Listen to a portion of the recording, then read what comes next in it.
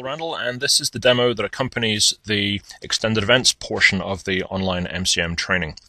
What I'm going to do in this demo is I'm going to set up an event session that's going to allow me to look and see what queries are executing that are taking up more than a certain amount of CPU time. So first off, I'm going to create a database to play around with. I'm going to call it production. And then I'm going to create a table a couple of indexes and insert some values in there. This is basically just setting up some data that I can then execute some queries on. Obviously, it's a contrived example, and I'm going to be able to to uh, have an event session defined that allows me to look and see what uh, queries that I'm executing against the, this table are taking up a certain amount of CPU time. So my event session is going to have a predicate based on the database that's being executed against. So I'm going to select the database ID of this particular database, so it's 19, and I'm going to use that to plug in when I define my event session.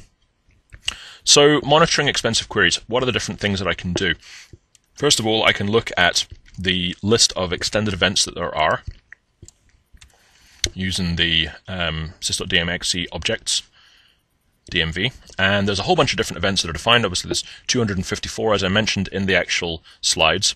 And I want to have a look and see when a particular statement completes. So I can see um, whether that statement took up a certain amount of CPU time. So I'm going to look for SQL statement completed. And we can see there we can actually do it by um, stored procedure if we wanted to, but I'm going to look for SQL statement completed. And that's the event that I'm going to use in my events session. Now for a SQL statement completed, I can have a look and see what payload is captured when that event actually fires. In other words, what data is captured by that event. So I go ahead and run this. I can look at the XE object columns, DMV, and it's capturing a bunch of different stuff. The database ID, the object ID, object type, the amount of CPU that's been burned, the duration, the number of logical reads and writes that were issued. So this I can use to filter my events by having a predicate based on the CPU time. In terms of actions, I can have a look and see what actions there are, all kinds of different stuff that I can capture, and I'm going to capture the uh, plan handle. So I want to, there we are, there's plan handle there. So I can capture that. I could also grab the SQL text as well, but uh, plan handle is going to be good. And then how do I want to process these events? Um, say ring buffer, the various synchronous methods, various asynchronous methods. So I'm going to use a file target. Is there anything I can customize around the asynchronous file target? Um, the file name, the um, maximum number of files that I can have, the file size, and so on. So each of the different targets has a bunch of different things that you can um, set up about them to define how they're going to behave. So let's go ahead and put our session together. So first off, I'm going to make sure that if there was a session defined of that name, I'm going to drop it. So I'm creating my event session, and what it's going to do is I'm going to event, I'm going to watch this event the SQL statement completed event in the SQL Server package. And I want to make sure I'm going to grab the SQL text and the plan handle as an action. So whenever that event fires, if my predicate is met, then this particular action will go and fire. Now I need to make sure that I'm plugging in the right database ID. And remember we said it was uh, 19 for this database. So I'm going to go ahead and have that action only when the SQL statement completed and it ran in the database ID that I'm interested in, and the number of milliseconds of CPU time was more than 10.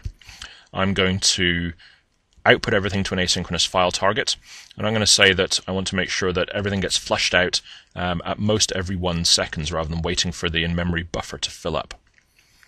Now I need to have two file names here. So this is the file name that stores the actual events, and this is the file name that stores the description of the XML that represents each event. And remember that that's necessary because I've taken this predefined event SQL statement completed and I've added in some extra actions. So what's captured is not just the vanilla SQL statement completed. I've actually changed the um, the shape of what that event's going to look like when it's captured. So I'll go ahead and create my events session.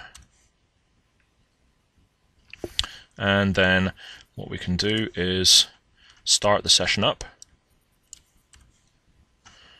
Okay, we're in the production database. I'm going to go ahead and do some operations on that table that I created and then flip back into master. It's going to take a few seconds to run. A Bunch of selects, an index rebuild, and index reorganize. So, did we capture any events that took more than 10 milliseconds? So we can select everything from our file target using this function and we give it the name of our actual table. We give it well, we give it a, wildcard file name that points to all of the files um, if we define any rollovers, and we say where we want to start and where we want to end in terms of which events. I want to look at all of the events. So we oh we captured three events. That's good. So this is going to show you how you need to get the information out. So first off, it comes back as XML. So if I just select everything and I don't do any further processing, what I'm going to get back is my three events and they come back each as a an XML blob, if you will. If I click on it, then it'll render into the uh, XML format, and here's my event. Okay, so I need to programmatically extract inform information out of these XML events. So I do that using my XQuery, and what I've done is I've pulled everything out of the XML using the dot .value to get all the different um, parts of that particular event that have fired. So you can read through this yourself. I'll leave it on the screen there for a second. You can have a, a read through, pause, and have a read and see what it's doing. So I'm going to go ahead and execute it now.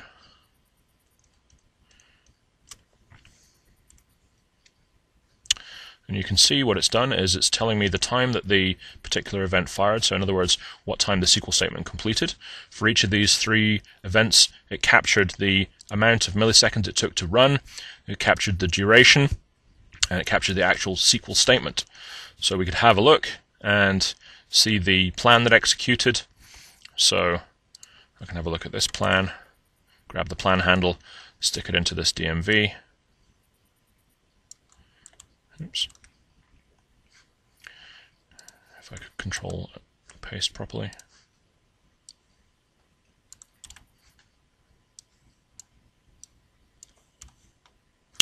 And then if I click on this, it'll render me the graphical plan.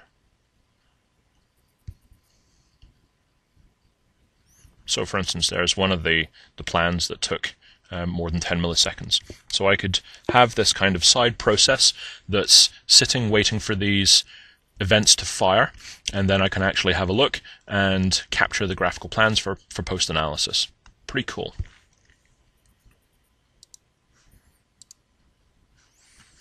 So in the second part of the demo, well first of all what I want to do is I want to stop this event session like so. In the second part of the demo I'm going to define a um, another event session that's going to allow me to have a look and see what wait occurred when a particular statement is executing. So first off, I'm going to um, have a look and see what objects there are. So all of the different um, events that can fire, and there's one that allows me to see what waits have occurred. And this is right down at the bottom and it's called um, wait info wait info external. Now these aren't part of the SQL server um, package. We need to make sure we're getting the right package. So go back over here and execute this so the wait info is in the SQL OS package rather than the SQL Server package. So let's have a look and see what columns there are that the wait info captures. So it captures a uh, a wait type with this particular type name. So we're going to have to have a look and see what that type is. It captures an opcode. We're going to have to look and see what these opcodes are. And then we've got um, the duration of the event. And then for all the events of this particular type, this particular wait type, what the max is, the total is, uh, the signal wait time, and how many times it's fired. Now, for these particular um, for descriptions of what these things are, have a look at the waits and queues module, where I explain all that. So what do these different um, types mean? So wait types is, okay, so wait types is all the different waits that can occur in the system. Again, look at the waits and queues module, and you'll see um, descriptions of these and what they mean. And then the opcodes are when the event started, when the event finished. Okay, so when we started our wait for that particular resource and when our wait ended. So let's go and create our session. So we're going to create our monitor wait session. Now we need to get the session ID of the connection we're going to, we're going to run our query in. And this is over here. So first off, let's make sure we, we get everything out of memory. And our SPID is 52. So we're going to monitor on SPID 52. So we need to plug in our session ID here. So basically what we're going to do is we're going to look at all the waits that occur for session ID 52 and we're going to save it off into an asynchronous file target. So let's go ahead and create that. We start our event session. We go ahead and run our query.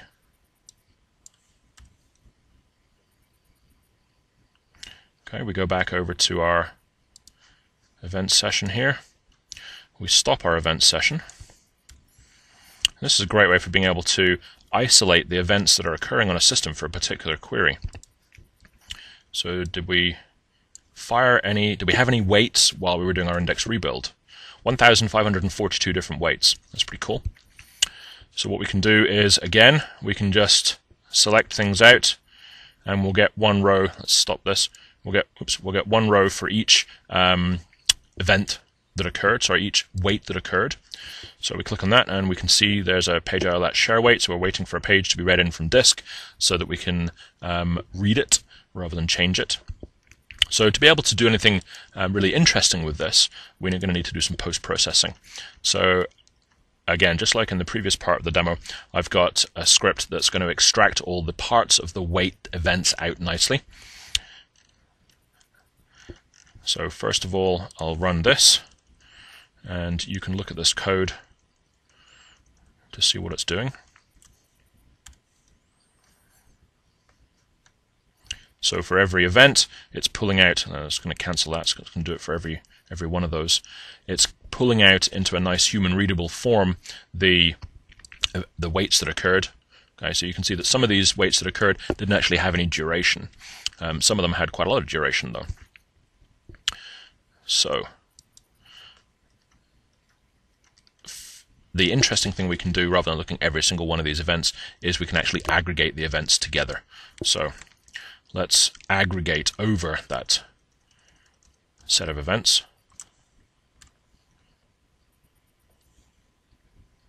Takes a few seconds to run. And what we can see is the various kinds of events that occurred. So we had some parallelism um, waits. We had some waits writing, waiting for us to write out information to our transaction log that was logging the index rebuild that we did. Um, we had uh, latches on in-memory structures that aren't pages.